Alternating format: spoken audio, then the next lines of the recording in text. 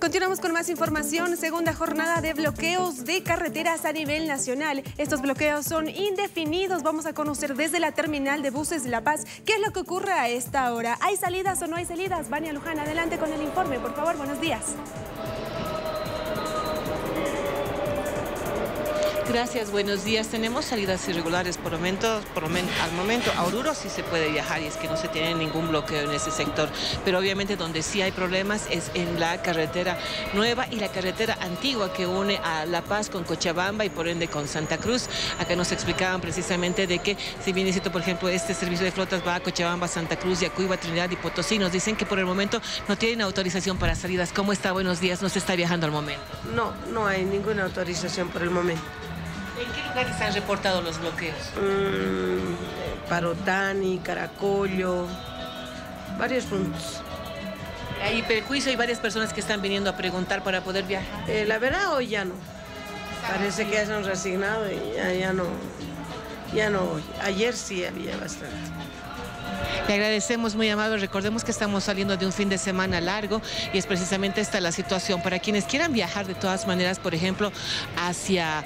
Eh, hacia Perú, hacia Chile, sí hay salidas y estas son normales, pero vamos a poder conocer mejor esta situación con tu Américo Gemio, el CACA en la terminal. Director, ¿cómo está? Buenos días, por favor. ¿Se puede o no se puede viajar?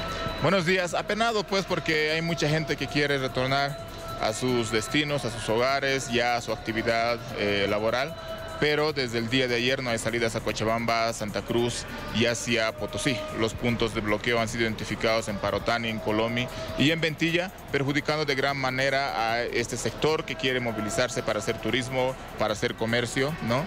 De hecho, el día de ayer ya se han perdido dos millones de bolivianos en el sector de transporte. Se han vendido pasajes de manera condicionada y se han tenido que devolver, por supuesto. Ninguna flota ha salido desde la terminal de buses La Paz y tampoco han podido llegar.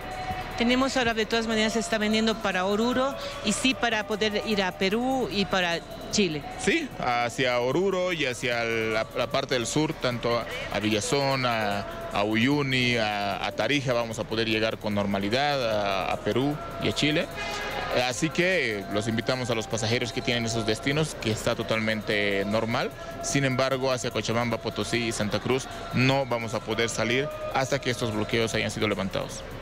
Dos millones nos decía las pérdidas. Dos millones se tenía previsto generar ingresos en el sector de transporte el día de ayer, toda vez que tenían que haber llegado muchas organizaciones sociales para generar la economía aquí en nuestro departamento, pero no se pudo tal extremo y el día de hoy seguramente vamos a perder un número similar, estamos en temporada alta.